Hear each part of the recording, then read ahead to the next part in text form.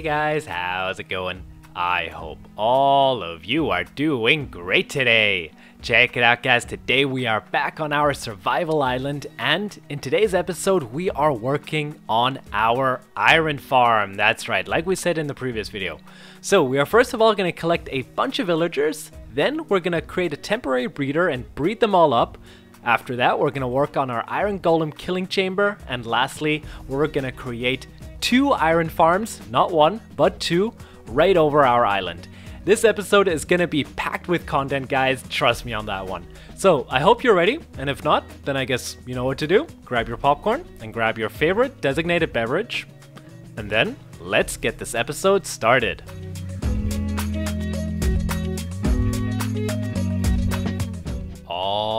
Alright guys, I hope you're comfortable, because today is going to be a longer episode. I don't know if I'll always be able to keep the episodes this long, simply because I had to put something around like 6 or 7 hours of just playing Minecraft into this episode, and that's not even counting the time I'll have to put into editing this video, but hey, you know what? I hope you're happy, so I guess don't forget to smash the like button guys if you're enjoying this series. So like I said in the introduction, today we are constructing our iron golem farms because we need the iron guys. We just need them for future projects. And as all of you know, hopefully, to spawn iron golems, we need villagers, that's right. So the first thing that we did was actually head off to the desert village that we discovered in the previous episode and then try to trap all of the villagers in some minecarts so that we can transport them to our island safely. And let me tell you guys, working with villagers is a pain. Oh my god. I mean, you can't put a leash on them, you can't lure them, they just run around everywhere, going where you don't want them, and it, it really is horrible, guys. And then, you know, in the end, when you actually have them in a minecart and try to break it, they just sometimes appear in a completely random place, like, for example, diagonally across, where you broke the minecart, in another direction, I don't know and it really just was a pain in the end. But I think in the end we did manage to get all the villagers safely into the nether, and yeah, we already had a minecart tunnel prepared to transport them to our island, which did work a little better than trapping them in the end. Also, another bug that I encountered was that the villagers seemed to be invisible the first time I went through the portal. I mean, I could hear them, but it just seemed like they weren't there. So the first thought I had was that they had spawned somewhere around in the netherrack or in a cave or something like that. And I was pretty scared that they were gonna die on me. So I started breaking the blocks all around me in the hopes of finding them. And as soon as I did that, I think like 10 or 15 seconds later, they all started appearing directly in front of the portal. And because I broke all of the netherrack around them, of course, they had to run into the nether and all around the area, so I had to go around and trap them all again, and that was a pain, guys. It was really frustrating at first, but I think in the end we did manage to get all of the villagers over to our little island. I think one of them had to die, but I think that's alright. And we trapped them in a little merry-go-round at first so that they wouldn't run away, and yeah, it looked a little funny in the end.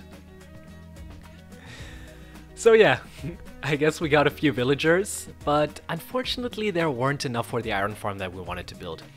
In the end we only had like 5 or 6 villagers or something like that, and we need at least 20 or something to start on our iron farms for this episode. So what we did was we started to work on a temporary villager breeder, and the design that we're going for here was built by IOSer100, who, by the way, is actually a German YouTuber, that's right. So it was quite interesting to watch a German tutorial for Minecraft for a change.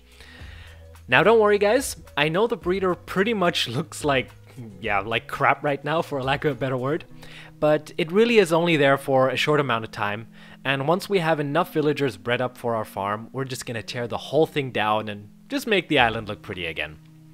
So the way the breeder works is you have two farmer villagers on a field of carrots at the top who basically harvest the carrots and toss them around each other so that they can start breeding. Because, yeah, I guess for those who don't know, to make babies in Minecraft, you gotta throw carrots at your partner, that's right. Come on, yes, yes, just make a baby. Come on, just, just make a baby, guys. Come on. Come on. Just please work. Just make a baby already. Come on. oh, alright. It was late when I was recording this, but everything finally worked out and we got ourselves our first villagers bred up. Now to get the baby villagers separated from the bigger bunch, there are actually some gaps at the side of the farm which are just high enough for a baby to fit through, but in the end leave the adults at the top so they can keep harvesting and I guess throw carrots at each other, that's right. so in theory, after an hour or so, you'll still have the two farmers at the top who will keep on breeding, and what you'll be left with are a whole bunch of other villagers below the farm, which you can then move around and use in farms and do with as you please. Now, practically this did look a little differently, and what happened was that not all of the babies would fall through those gaps that we left before they turned into an adult. So in the end we were left with quite a bit more than two villagers at the top. This really isn't a problem for the farm. It actually still worked perfectly in the end. However, those villagers which didn't fall through the gaps would have been ones which we could have used in our farms, and in turn that would have sped the process up a little bit. However, I'm not complaining right now. No, don't worry guys. The complaining will come a little later when I'm moving the villagers, that's right. but anyways, once the breeder was complete, I had to let the villagers breed up for a little bit. And I thought in the meantime to, I guess, kill the time a little bit, I decided to construct and decorate the killing chamber for the iron golems. So the plan I had, like I mentioned in the previous episodes, was to have the iron golems fall through the island and land in the middle of our two storage areas that we built in the previous episode. So that in the end we will have a really nice view of all the iron that we're going to be collecting and all of the iron golems that we're going to be killing of course. I know that in the previous episode I said that they would be falling to their deaths, which I have to say was probably poorly worded from my end, guys. What I actually meant was that they will be dying down in that area and not that they will be, you know, dying from fall damage, of course. So, to keep with the overall natural theme that we're going with here, I thought that it would be pretty cool to have some sort of tree or something like that, which was hollow in the center, in which the iron golems can then fall down to.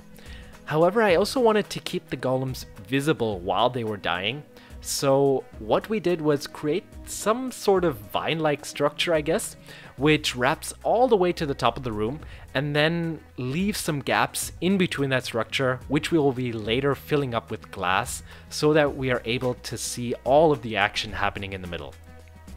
And I have to say guys, I really am pleased with how this turned out. It took a long time to construct this area, just switching between the logs and the wood. It really was a lot of work, but yeah, overall I am really happy with the look of it and I just can't wait to build more stuff down here just to tie the whole area together.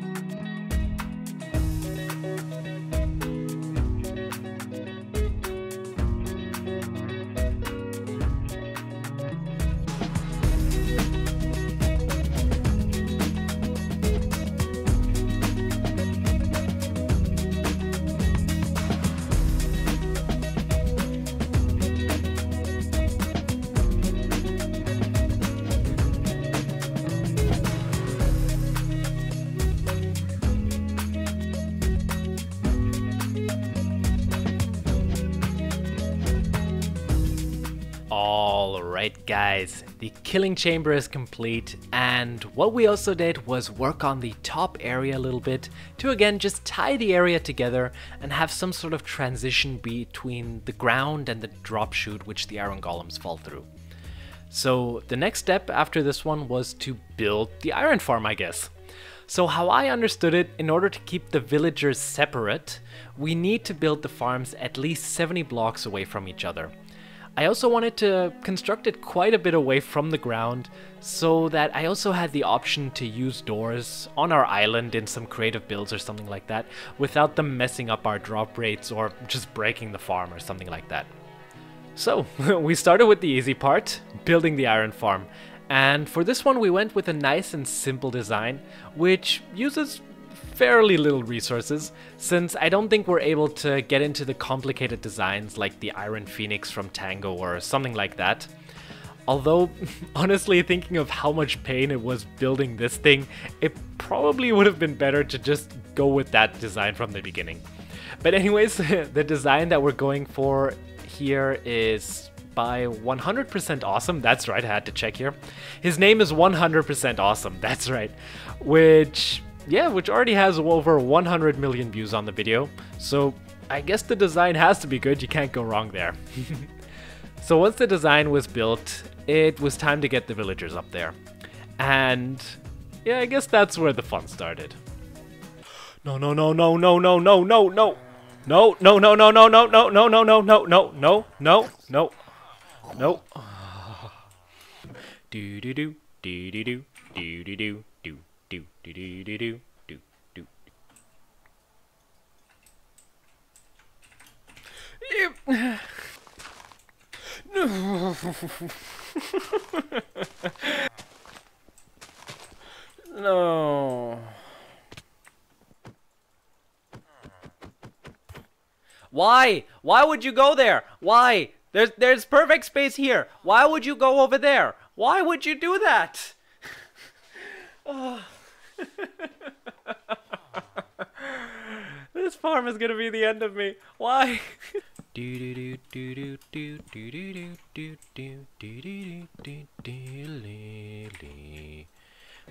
Yeah, I don't know guys. I think I'm just incapable of working with villagers in Minecraft. I don't know, they're, they're annoying, they walk everywhere, they sound funny, and... Honestly, it actually made me feel a little better knowing that they'll be trapped in a glass cage way above the surface. Which, I guess is concerning a little, but you know what? I think we'll deal with that in another episode. So, like you can see, we built a long minecart rail all the way to the top of the farm, so that we can trap our villagers up there. This actually took way longer than it should have, and that was because I think I just kept messing up and making stupid mistakes. The villagers kept running away or they just kept popping out of their minecarts the wrong way or in the wrong direction where I wanted them to. And yeah, I think you get the gist of it. It really wasn't a pretty sight to see. But you know what guys? I think it makes for good entertainment, right? I don't know. and you know what the best part was, by the way? The whole time while I was working on this, I knew we had to build this thing all over again for the second farm that we are building right on top of this one. Yeah. but you know what? I'm fine, guys. I haven't thrown my computer out the window just yet, and I am still alive, so plus points there, I guess. Now, the original plan was to actually build eight more of these farms around the area. I don't know what I was thinking. In a design which looks something along the lines of this, I guess. However, I think in the end I really just ran out of time and 8 more farms will probably be a project on its own. So I think what I'll do is first of all see how the rates of these two farms are and then decide whether or not we need to build more. And if we do, then we'll just keep adding more in future episodes as a sort of bonus content, I think, since I don't think you guys want to see another full episode of me failing at transporting villagers or, you know, just messing up the whole time. Another thing which we also have to address is the look of the farm, guys. I think right now the farm is just purely functional. The drop chute and the bottom of it, it does look a little fancy, but we really have to do something about the aesthetics of the farm so that it perhaps blends into the area or the sky a little better than it does now. And for this part, I'm actually hoping to get your input on this, since I'm really not too sure what we can do to make the farm look a little prettier. Who knows, maybe in a future video we'll just tear the whole thing down altogether and just build a more efficient design here, but I think that will have to do for now, for at least a couple of episodes. Oh, and one thing which I do want to mention before I forget, in the end we do change the design of the drop chute a little bit. I really wanted to go for an asymmetrical design here, like you can see now, but a problem which I kept on having was that the golems kept on falling out of the chute. I tried plugging up the holes for quite a while off camera, but I think in the end I really just got frustrated and it just seemed hopeless. So what we did is we tore the whole thing down and went for a more symmetrical and safe design, I guess.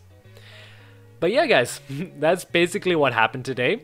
I hope you're enjoying the longer episode because it really did take a lot longer than I wanted to spend on this initially. And you know what? Leave me some feedback and also some ideas on what we can do in the next episode.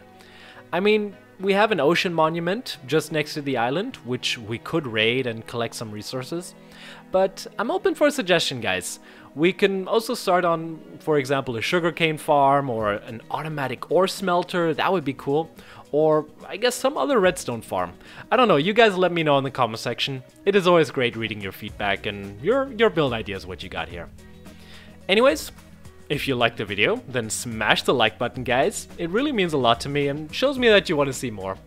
But right now, I think the only thing left to say is sit back, relax, and enjoy the rest of the time lapse.